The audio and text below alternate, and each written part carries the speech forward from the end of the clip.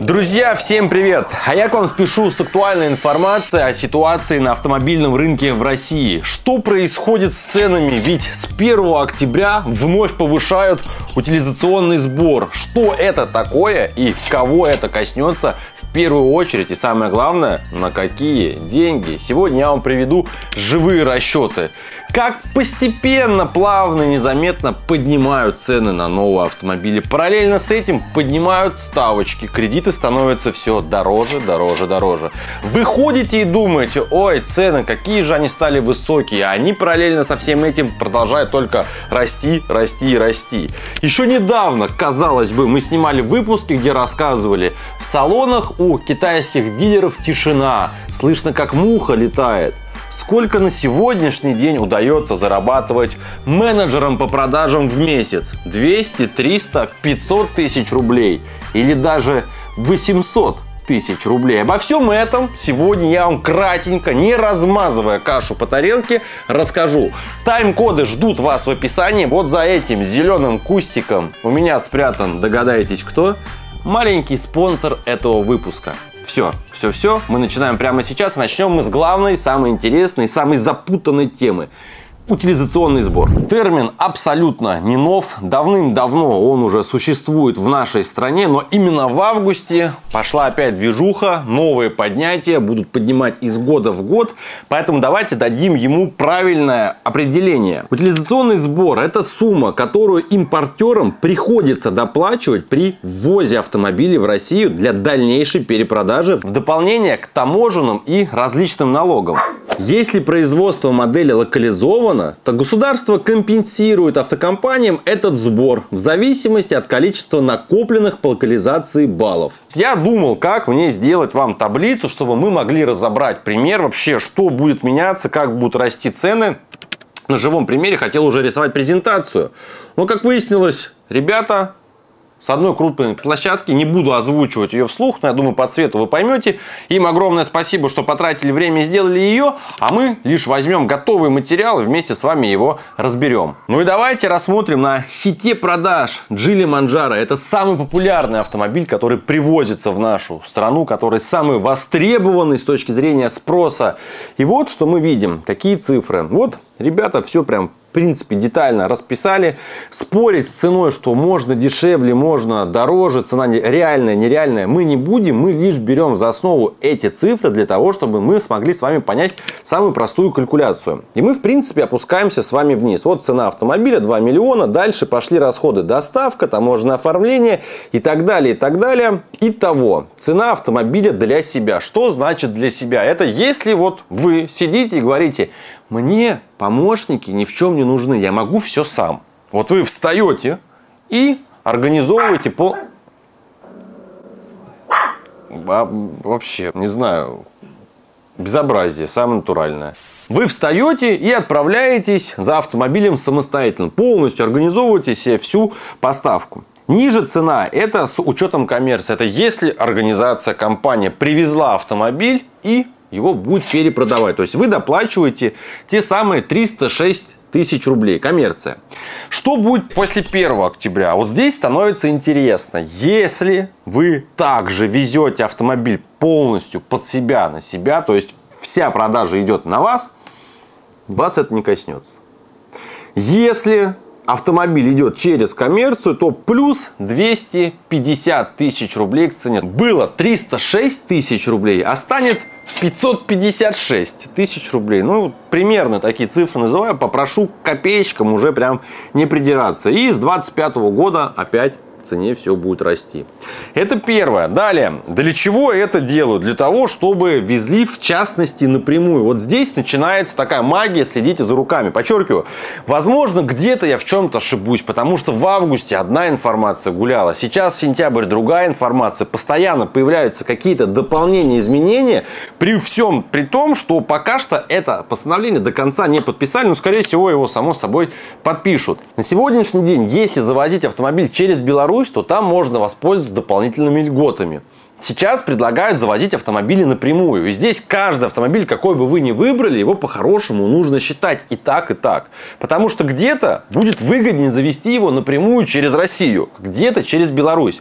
Я прекрасно понимаю, что это звучит запутанно, но это вот примерно так и работает. Специально для этого выпуска, вот я сейчас попросил ребят, говорю, посчитайте, пожалуйста, сколько будет стоить, если вести Джили Манджаро вот сегодня напрямую с учетом всех вот этих повышений в Россию. Все прям прямая поставка ставка. Смысл в том, что там растаможка на льготника, и экономия идет на таможенной пошлине.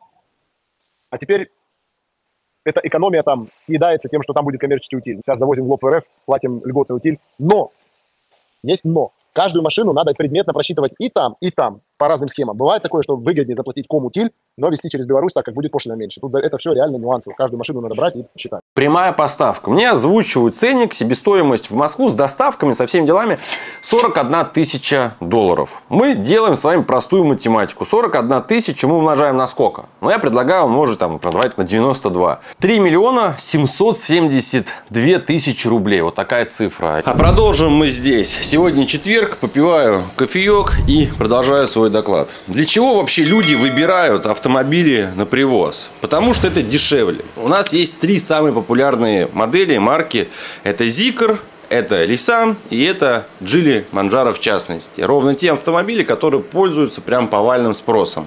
Вот привожу вам живой пример. Если мы возьмем Geely Manjaro комплектация флагшип, еще в августе из наличия эти машины можно было купить, я такую среднюю цену называю по рынку, 3 миллиона 600 тысяч рублей. 3 миллиона 600 тысяч рублей ты заплатил, получаешь машину уже со всеми документами, с русификацией. Если прийти к официальному дилеру и сказать точно такую же машину в такой же комплектации, то цена будет 4 миллиона 250 тысяч рублей за наличку. Ну, может быть, вы сторгуетесь, она станет чуть ниже, в том числе, может быть, вы не сторгуетесь, вам предложат чуть выше, но дельта примерно у нас получается 600-650 тысяч рублей.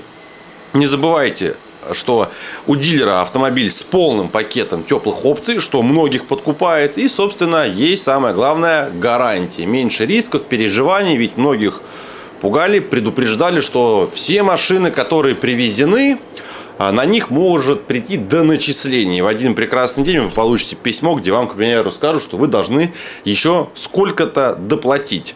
На сегодняшний день вот со всеми этими утилями вот это вот разница будет становиться все меньше, меньше, меньше. Вот если, как мы посчитали, 3 800 теперь Манжара будет обходиться, ну в максимальной комплектации у дилера он стоит, максимальной комплектации, подчеркиваю, 4 400.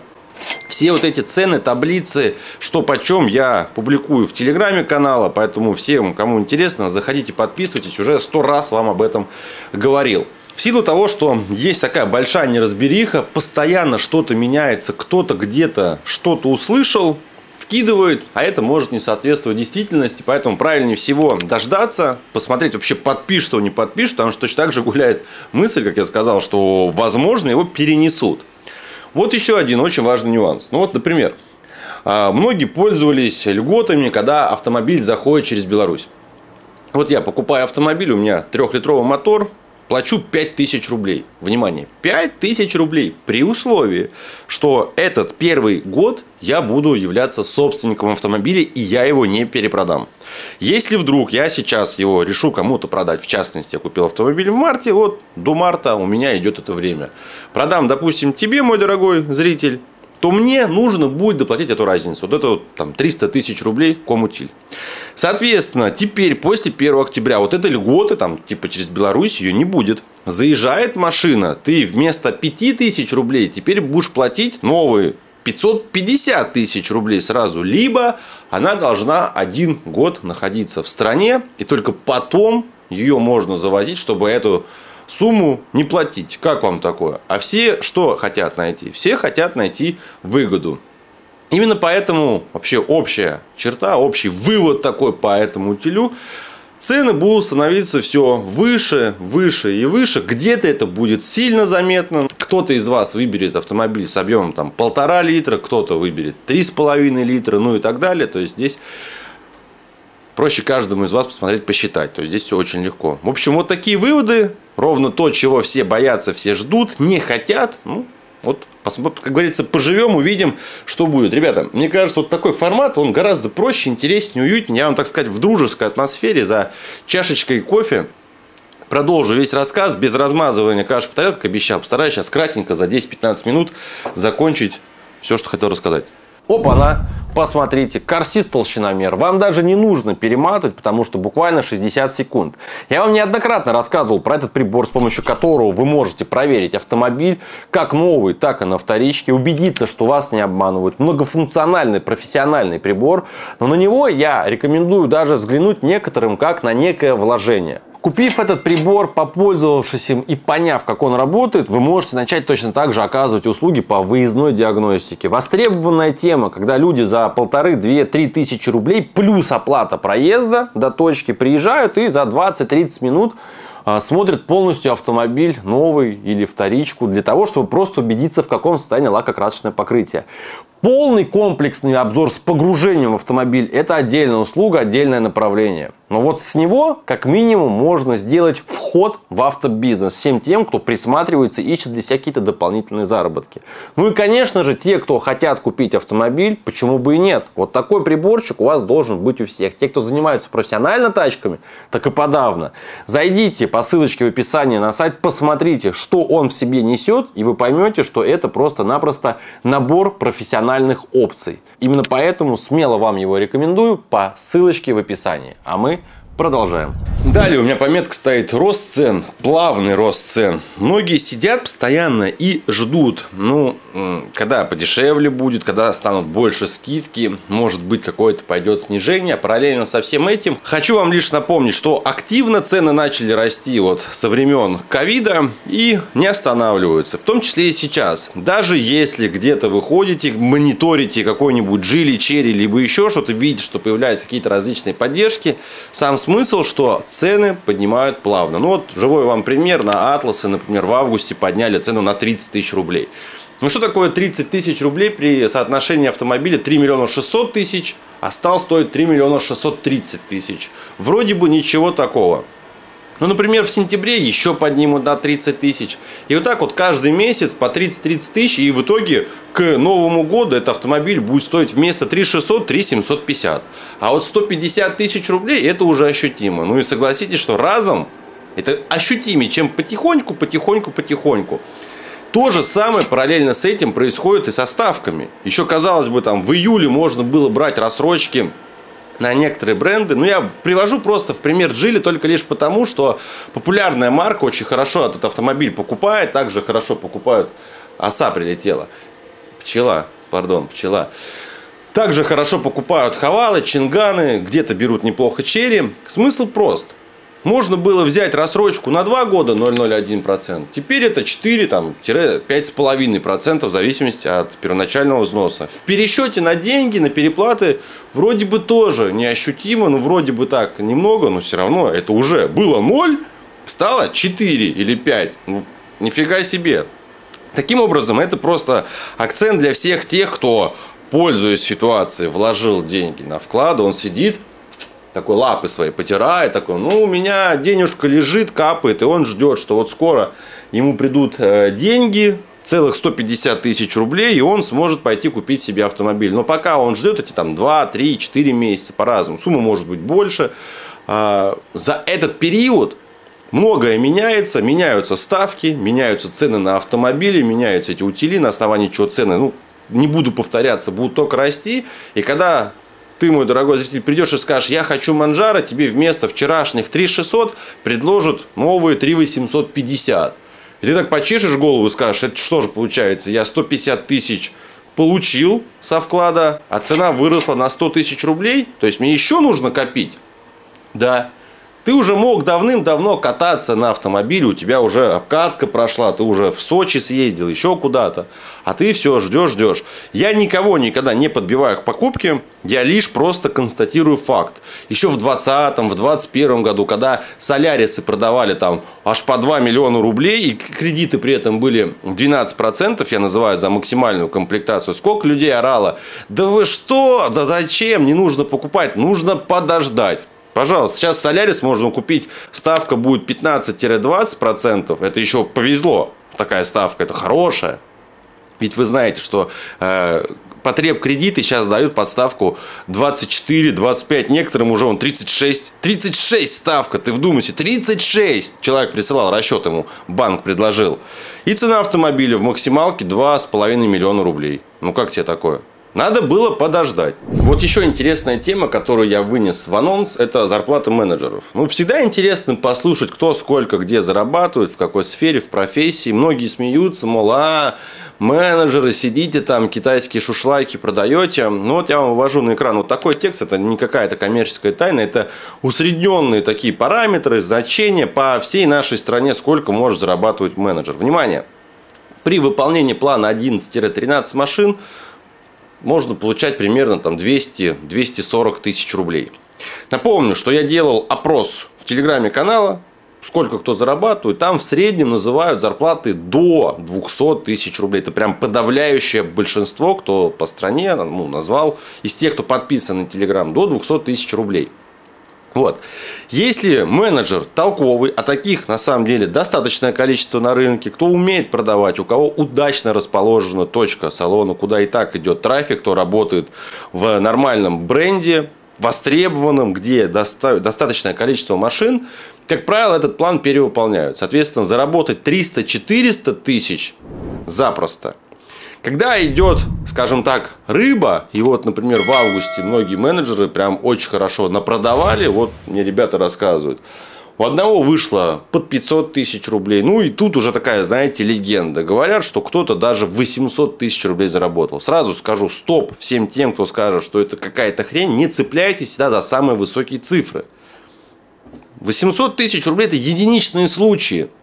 А вот 200, 300, 400 – это уже гораздо ближе к реальности. Поэтому торговать автомобилями вот для человека, кому нужна работа, это выгодно при условии наличия опыта. Не надо думать, что встал с дивана, пошел устроился, и завтра у тебя 300-400 тысяч. Нет. Устроиться еще нужно постараться. Далее.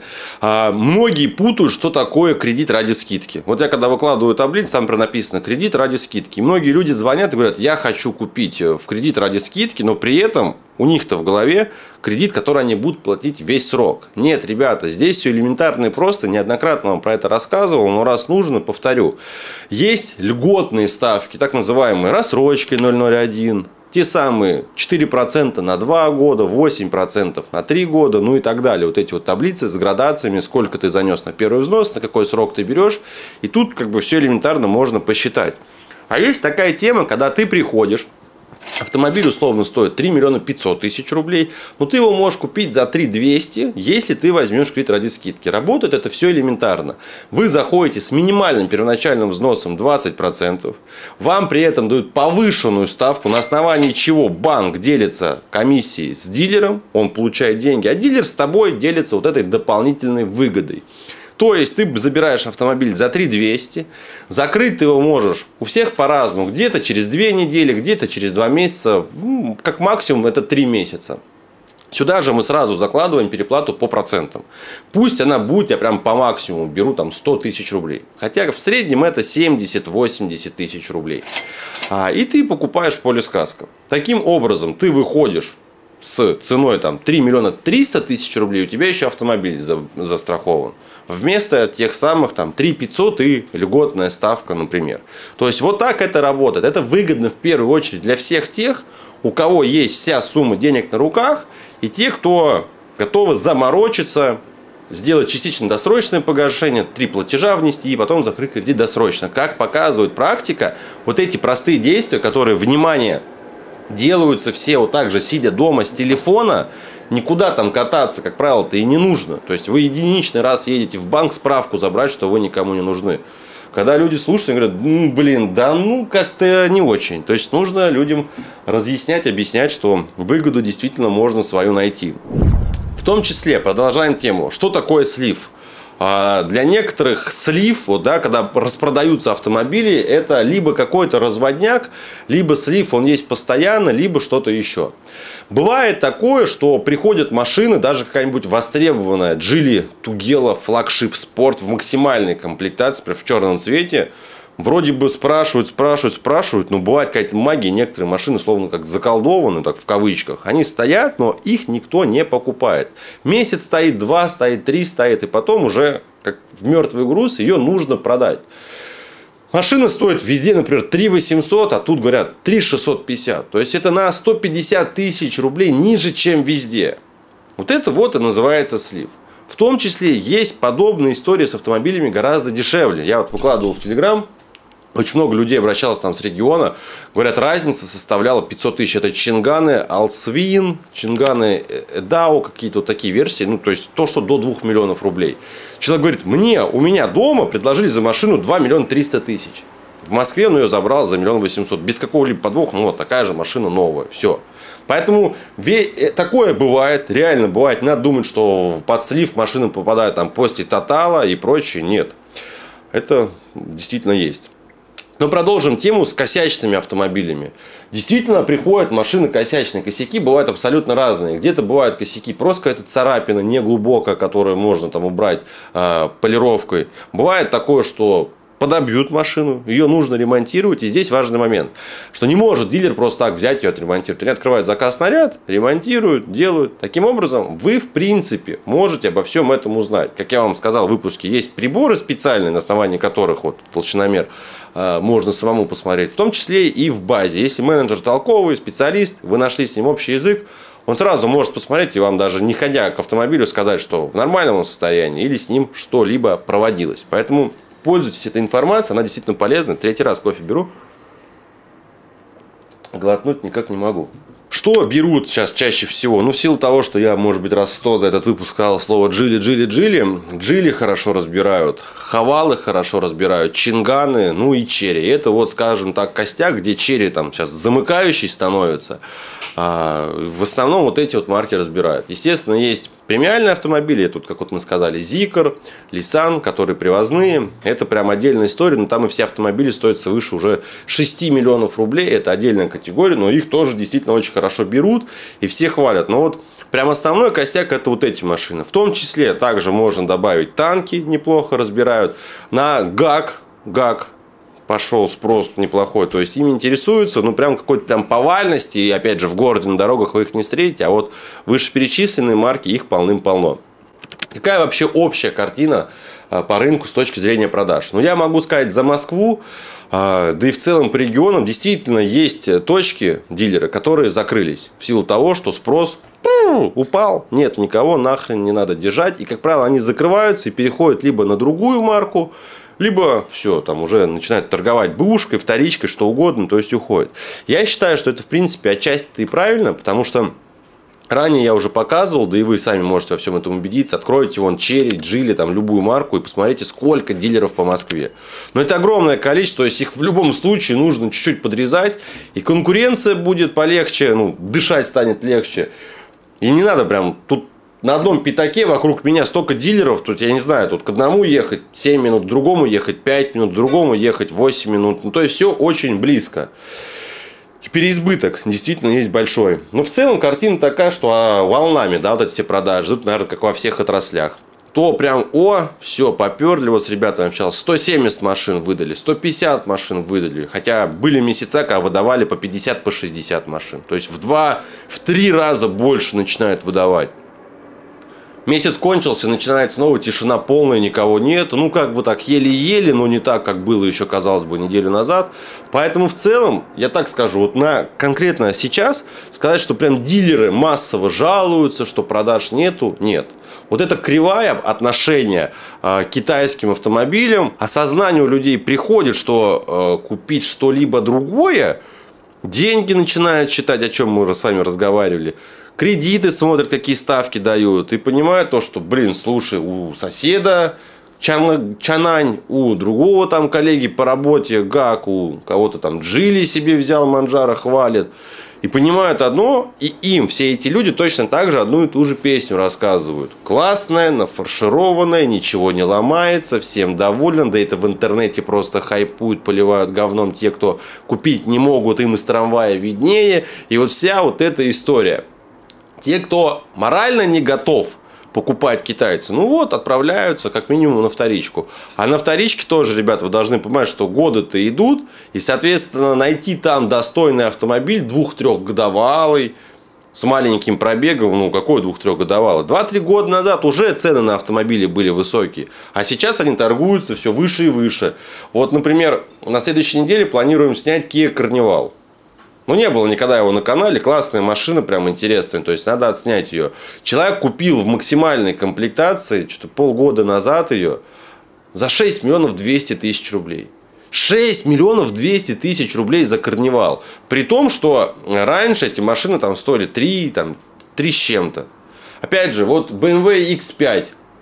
У нас по стране они торгуются, например, бензиновые версии там 7,5, 8 миллионов рублей. Но средняя такая цена за живой вариант. Можно дешевле найти, можно еще дороже найти.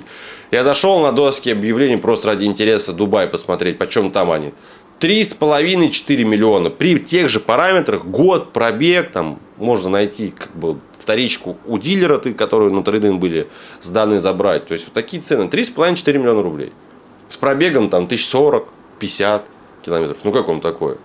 Совсем другая история. Я надеюсь, то, что в целом я вам донес ситуацию, затронули самый волнующий вопрос для многих утильсбор, кого он коснется, коснется всех. Везде цены поднимутся и будут продолжать расти, поэтому хорошего здесь мало, ну вот констатируем факт. Уж насколько изменятся цены на те же самые хавалы, лады, ну поживем увидим.